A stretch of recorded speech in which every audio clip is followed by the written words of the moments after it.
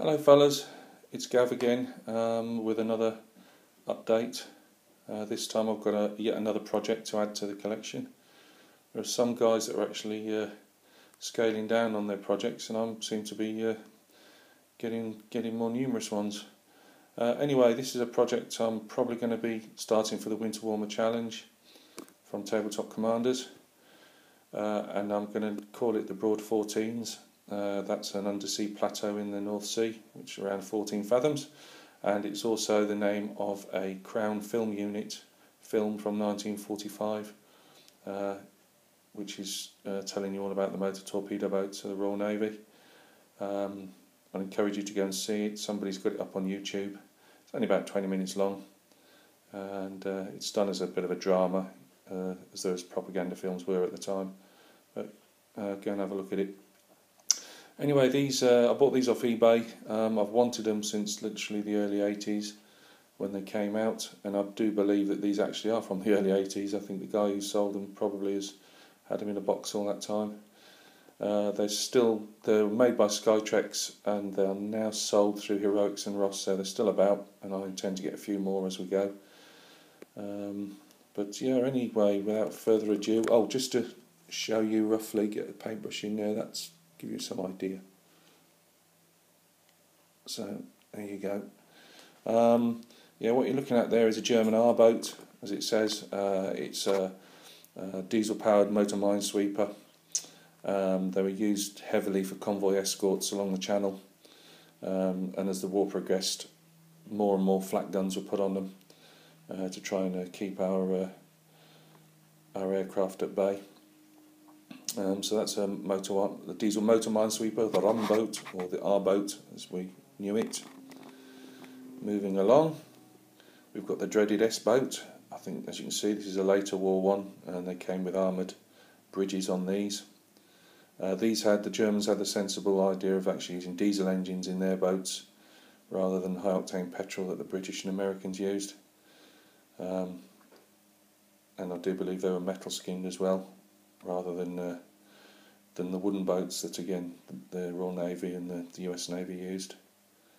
Um, again, as the war progressed, they got heavier and heavier armaments to try and uh, fend off um, Allied aircraft. And this, you can tell the difference in size to some of our boats. This is a, a lot smaller. It's a, a British uh, MTB with just the two torpedo tubes. Um, and as you can see, you'll see by the what it says there, the different gun armament. Later on in the war, they had these um, six-pounder quick-firing guns, which which could be quite uh, lethal, devastating. But earlier on in the war, um, you were lucky if you got one of those on, on one of these size boats. It's only as the weapons became more available, they managed to stick more on them. As you can see, they had the uh, ubiquitous uh, 20mm Oerlikon cannon. So, uh, yeah, that's a, a wooden MTB.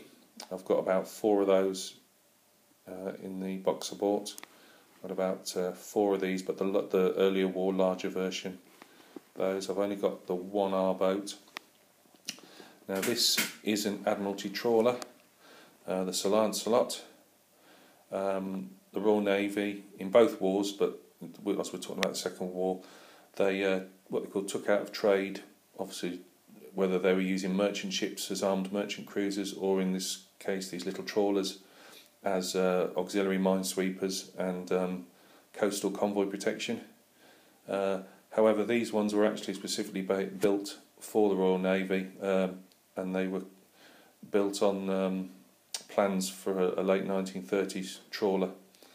So uh, the Royal Navy just put like that bandstand on the top, you know, you'd stick a stick a gun in there and again a couple of 20 mils when they came available and they were used again for convoy escorts and uh, minesweeping and some of them not this not this class this class never went out of UK waters but uh, some of the others uh, they actually went on the Murmansk convoy runs.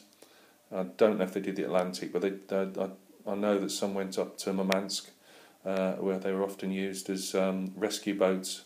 Obviously you couldn't stop a convoy or you, even a, a destroyer or a merchant or a, a um, like a flower class corvette because uh, it would end up with a torpedo in its guts. So, you know, these were usually used as, uh, you know, they, they didn't. There was no way in that, that by that time of the war the Germans were going to surface and use a deck gun. Um, So uh, these were used often to drag unfortunate mariners out of the uh, icy cold uh, Barents Sea. Um, I'll just try and fit these two in just to get some idea of scale. I've got two of these.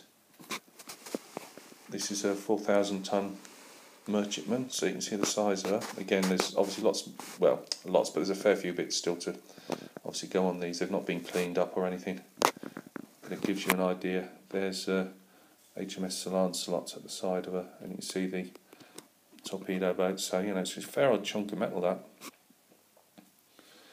So uh, that hasn't got a name yet. I'll come up with something as I always do. But uh, yeah, that's you see, it's, um, you know, there's a bit of uh, flash and you know, a fair bit of clean up on these. But um, as usual, you know, they always look fairly daunting when they're just like a slab of metal like this. But uh, you know, once you've got the once you've got the paint on them, they come to life as always. This is a German coastal um, oil tanker, just a small one. I think she's about 4,000 tonnes, although you could, she could just as well be British. Um, and again, there's more details that have got to be uh, that are in the box that you obviously stick on. So yes, this is my uh, one more project to add to the list. But I think it was karma. At the end of the day, I saw them on eBay and I thought I wanted these for years, and I'd actually been looking only a couple of months ago. So just like the Langtons, it's taken me 30 years to buy them, but I finally got some something that I wanted back in the 1980s. So, yep, this is my project uh, for the uh, for the winter warmer. Um, how far I get, I don't know, because it's still going to have a mix of Langton sailing ships, and uh, obviously my, uh, as you can see here in the background, my naps are still going strong, although most of those are somebody else's, but you, you, get the idea. Still painting naps, still loving it. Uh, but I can't turn my nose up to uh, to these type of things. So yeah, I shall. Uh, I've cleaned up um, the ones actually on the top of the bags are actually more or less cleaned up.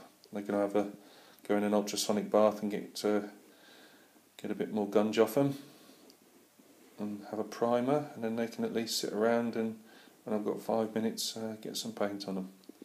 So thanks for indulging me guys, sorry for the length of the video, and I'll uh, catch you again soon. Cheers.